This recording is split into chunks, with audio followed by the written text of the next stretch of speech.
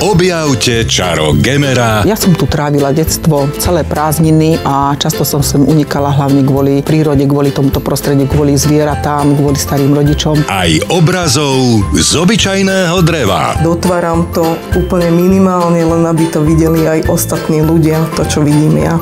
Na chalupe v nedeľu o 16.50 na Jojke.